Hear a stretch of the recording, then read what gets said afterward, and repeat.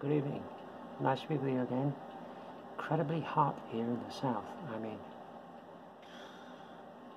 I mean it's it's what is it now? Quarter past six.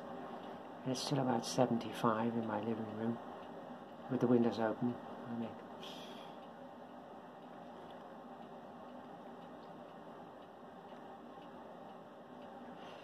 one thinks I should be drinking something cold rather than tea, but doesn't matter.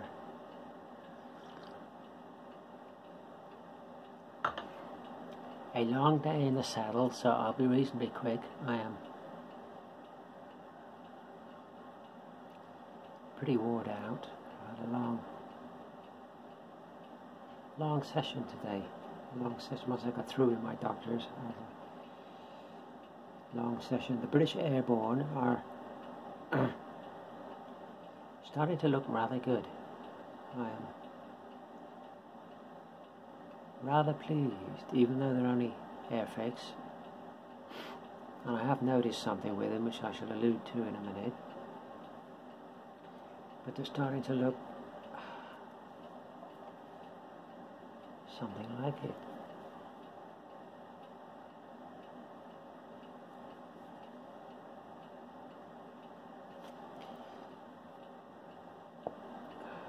Our sniper guy.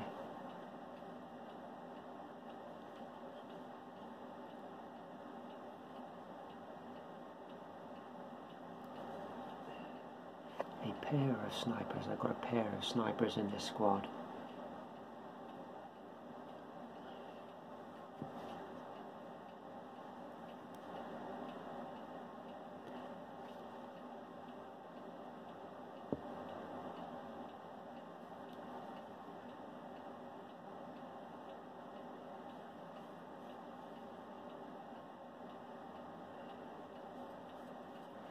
So what I'll do is I'll block in all the base colours. Then I'll go over the whole lot with some Agrax Earth Shade and then give it some highlights. And I'll put some more highlights on the foliage on the helmets as well, some different greens. Give it a foliage look. The, the sponge mix has worked out very well on these. It looks very good. Once we get different greens in there, they look pretty good. I'm pretty happy with the faces, I gotta say. I found something. The trousers,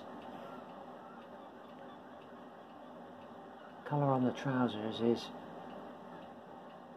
flat earth. I actually didn't have flat earth in Vallejo, but I had it here in um, Tamiya so save the day. So I'll order it in Vallejo, flat earth. That's one thing I didn't. I was surprised. Colour I didn't. Actually, there was another colour I didn't have, and that was red for the beret. I didn't have that either. That was straight red. Interesting colour, Vallejo straight red. You put it on to the beret, it looks far too bright, garish and pink. And when it dries down, it's absolutely perfect. It's amazing how it dries. Here's our command figure.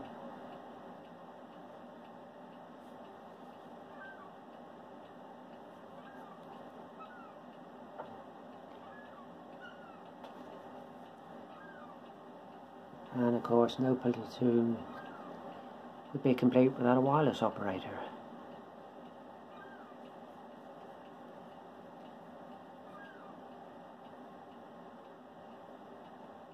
All the better for having the cables fitted.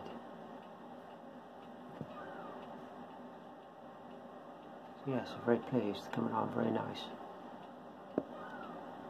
The only thing I did notice with these, which is what I was going to allude to, the only thing I did notice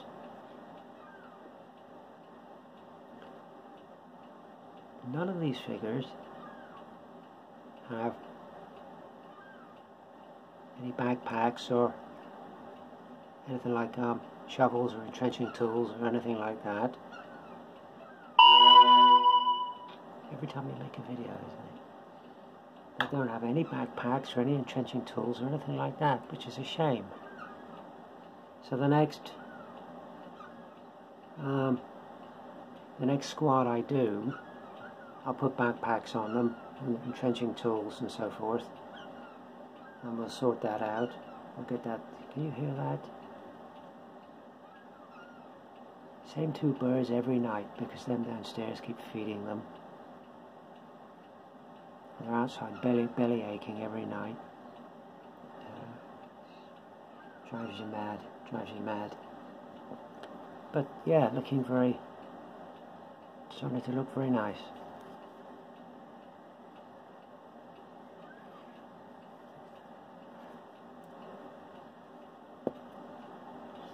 Yeah, so the next squad I do will have backpacks and um, entrenching tools and all that business added.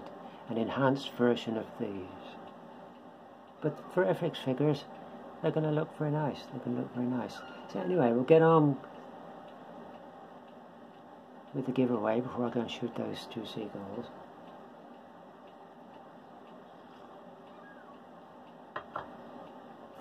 Item number one was the command figures, and medieval medieval command figures. Now I would wager you ten guineas. I would wager you ten guineas it didn't say in the listing, but I would wager you 10 guineas these are 3D printed. They're in resin, but I would say they're 3D printed. The only thing, the other thing that was a little bit annoying, disappointing, whatever you want to say, uh, I knew it when I ordered them, but I still thought it was a bit stingy. They got no bases. They got no bases. So what I've done is I've included four of them, thick, sort of counter, plastic counters. That's what I use for my 20 mil figures, and they'll work fine. So I've four of them. So four of them and, and command figures. Very nice. I forget which company makes these now, but nice. But I would say they're 3D printed, but it's amazing what you can do 3D printing now. It's amazing. So, only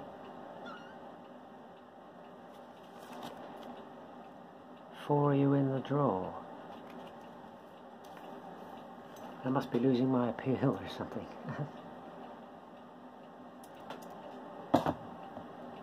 Here we go. Which way does that go? Which way does that work? It works the other way, doesn't it? Oh, I can't do it. I can't do it the other way because handle's on the other side, so I have to do it this way. There you go.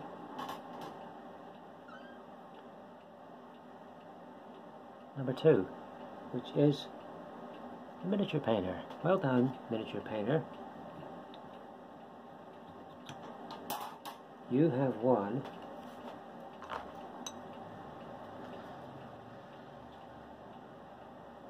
You have won the command figures. Well done, Justin. So they are yours. I'm thinking I possibly might go into town tomorrow, so we might be able to whack them in the mail for you tomorrow. And the other thing was, because we made sort of 300 odd videos, I did something for that, that's a Raphael Kolinsky Sable brush. That's a size zero, so a detail brush, Kolinsky Sable. If you've never used a Kolinsky Sable brush, you don't know what you're missing. You don't know what you're missing. So four of you in for the brush. Here we go, eyes down for full house.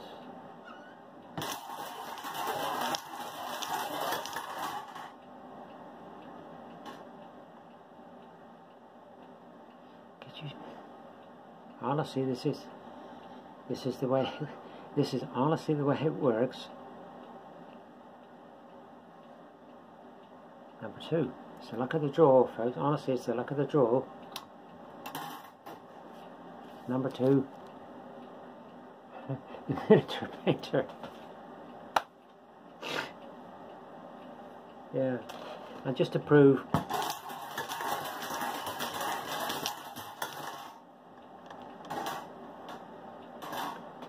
See, number three. Um, number four. See, so it's, it's just the luck of the draw. So well done, Justin. You've got yourself a sable brush and a set of command figures. So you can use the brush to paint the command figures. There you go. Hopefully I'm thinking tomorrow I'll get into town tomorrow and I'll post them for you tomorrow. Um, I need to get out a bit. I need to get out a bit. Here's something quickly before I go. For the colours for these British Airborne, I've been sort of looking online. I watched a video of a guy and he was painting Denison smocks and he was using a lot of triangles.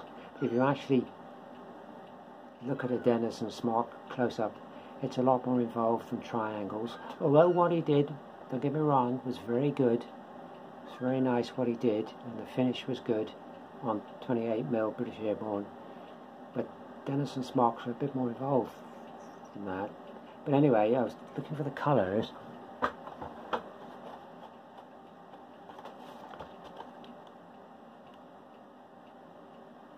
I like Masterbox stuff very much. So there's your colour I'm not following every colour. The colours for the smock on here I'm not sort of following. I'm using um, Middlestone, US dark green and mahogany. But down for the trousers and the webbing and all that, I'm sort of following that. But what I was going to allude to was Where's that dam bridge? Operation Market Garden, 1944. So these group of figures, somewhere near Arnhem, at least we can say they're in Holland, something like that. And there in the background is a regulation British kiosk, which I thought was very good. And also, this guy here, he's a gamekeeper or warden or something like that, I would think. Got a rabbit there, look, hanging down. It says here, look, no rabbits were harmed during the creation of this kit. Wonderful, wonderful. But look forward to doing that. I might even have a go at this after these. I don't know, we'll see, we'll see. Only four figures in the box. Mm. But gauging these figures, having looked at them, although they're in bits, a little bit difficult to gauge, but gauging them compared to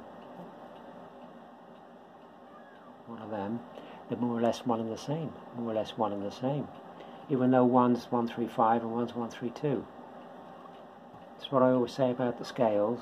Everybody's idea of what a scale is is different. 132, 135, which is why I'm going to mix the two together. But anyway, I'm going to go shoot them seagulls in a minute. Thanks everybody for subscribing. If you're new and just subscribed recently, I know one person in Belgium subscribed recently. I can't think of his name now. Peter, I think it, I think you would pronounce it Thibort. I'm not sure. Correct me if I'm wrong. But anyway, thank you for subscribing, Peter. Nice to have you here.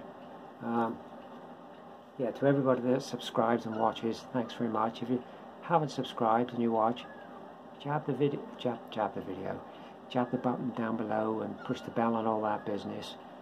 And, um, lots more interesting things coming up now. It's not just straight Napoleonics now. It's um, British Airborne and the buildings and things I'm not even going to mention, they're a surprise.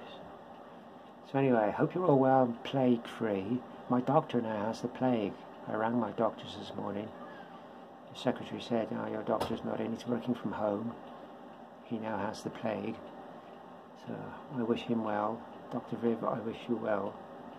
So yeah, I'm going to go and watch a vid or shoot them seagulls or something. So well done, Justin. Command figures and a brush. Sod's law, that's just how it works out. They're yours. Hopefully get them in the post to you tomorrow. See you on the next one.